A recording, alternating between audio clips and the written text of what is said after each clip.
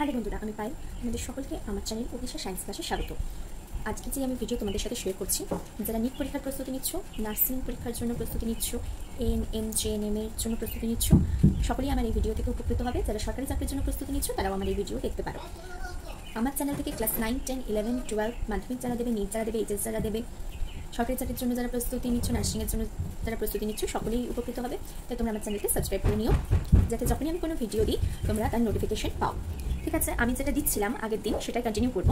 সেটা নিট প্রস্তুতির জন্য যে কোষ আর কোষ বিভাজনের কিছু কোশ্চেন আমি বলছি কোশ্চেন অ্যান্সার তো এগুলো অতি অবশ্যই তোমরা রিভিশন যখন করবে, এই কোশ্চেন অ্যান্সার প্র্যাকটিস করে নিও। দেখো, এরপরে যেটা আমরা শুরু করব থার্টি ওয়ান নম্বর প্রশ্ন থেকে একটি মাত্র মাইটোকন্ড্রিয়ান দেখতে পাওয়া যায় কোথায়? একটি মাত্র দেখতে পাওয়া যায় মাইক্রোস্টেরিয়াসে ঠিক second question thirty two leucoplast ছাড়া স্টার্চ গ্রেন উৎপন্ন হতে পারে, যা থেকে ক্লোরোপ্লাস্ট ওয়ান্টাজোম আবিষ্কার করেন পার্ক এবং বিগিনার্স। নেক্সট কোয়েশ্চেন কি? নিচের যে বিভাগটি সবগুলো তো সবগুলিতে পর্দা পাওয়া যায়, সেটা হচ্ছে কি স্টার্চ দানা, এখানে কোনো পর্দা থাকে না। সমস্ত নিউক্লিয়াসে কিন্তু পর্দা হয় না। প্রোক্যারিওটিক কোষের নিউক্লিয়াস যেটা থাকছে সেইটাকে নিউক্লিওয়েড বলে, ঠিক আছে? তো সেজন্য সমস্ত নিউক্লিয়াসের পর্দা থাকে সেটা আমরা বলতে পারব না। তাহলে সবার পর্দা থাকে যদি সেটা সাইটোপ্লাজম ক্লোরোপ্লাস্ট এবং মাইটোকন্ট্রিয়া এগুলো হবে, ঠিক আছে? চলো, এবার নেক্সট আমরা কোয়েশ্চেন কি দিয়েছে দেখি। নেক্সট কোয়েশ্চেন বলছে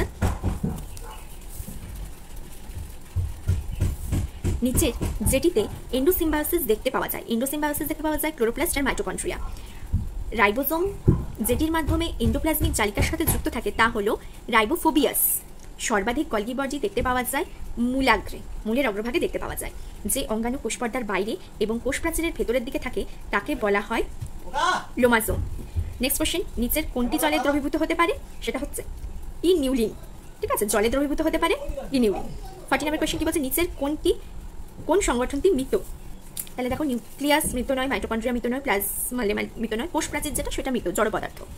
ইন্ডোপ্লাজমিক জালিকার সাথে সম্পর্কযুক্ত ইন্ডোপ্লাজমিক রেটিকুলাম বা জালিকা যেটা আছে, সেটা প্রোটিন সংশ্লেষে সাহায্য করে। গলগি বডিও প্রোটিন সংশ্লেষে সহায়তা করে। উদ্ভিদের কোষ প্রাচীরের উপাদান হচ্ছে সেলুলোজ।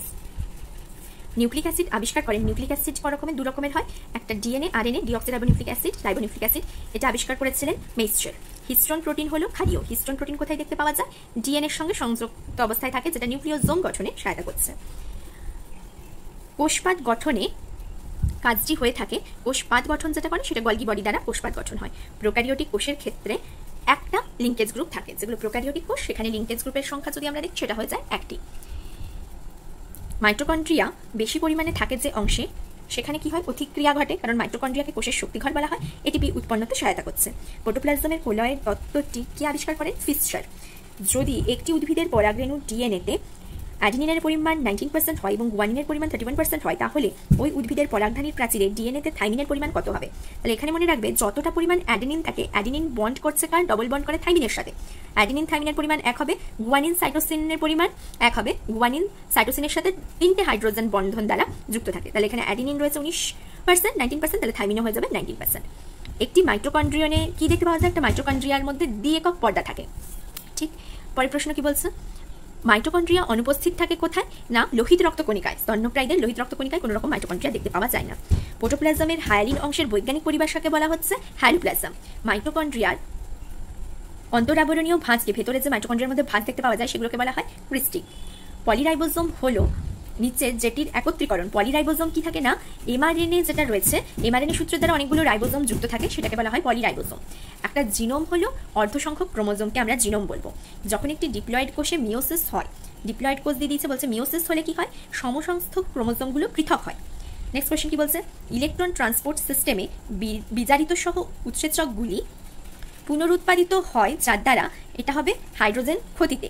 বিজারিত যদি হয়, বিজারণ যদি হয় হাইড্রোজেন যোগে, সেটা পুনরুৎপাদিত যখন করব হাইড্রোজেনের ক্ষতিতে, সেটা আমরা করতে পারব। ঠিক আছে? মেনলি এটা হাইড্রোজেনের যুক্ত বিযুক্ততেই বিজারিতটা আমরা বলি। বিজারিত জারিতটা। সেটা সংজ্ঞাতে হাইড্রোজেনটা দিয়ে এটাকে, হাইড্রোজেন টা দিয়ে আমরা ভালোভাবে বলা যায়। হয় অক্সিজেন দিয়েও বলা যেতে পারে, কিন্তু এটাকে পুনরুৎপাদনের জন্য যেটা করা হচ্ছে, সেটা হাইড্রোজেনের ক্ষতিটাই হচ্ছে প্রধান অ্যান্সার তাহলে আজকে এত দূর পর্যন্তই থাক। থাক নেক্সট দিন আমরা আবার এর পরের থেকে শুরু করব। তোমরা অবশ্যই ভিডিওটাকে দেখো যারা আমার চ্যানেলে নতুন, তারা অবশ্যই আমার চ্যানেলকে সাবস্ক্রাইব করে দিও। প্রত্যেকেই আমার চ্যানেলে উপকৃত হবে, যারা নিট পরীক্ষা দিচ্ছ, সরকারি চাকরির জন্য প্রস্তুতি নিচ্ছ নার্সিংয়ের জন্য প্রস্তুতি নিচ্ছ। Class nine ten eleven twelve সকল বায়োলজি স্টুডেন্টই আমার চ্যানেল থেকে কিছু সাহায্য পাবে। আর আমি ক্লাস নাইনের ফার্স্ট চ্যাপ্টার পড়াতে শুরু করেছি, সেই ভিডিওগুলো তোমরা দেখে নিও, যারা ক্লাস নাইনে পড়ো। তাহলে আমরা আবার নেক্সট দিন যেটা করব, সেটা ফিফটি এইট নাম্বার কোয়েশ্চেন থেকে শুরু করব। Thank you for watching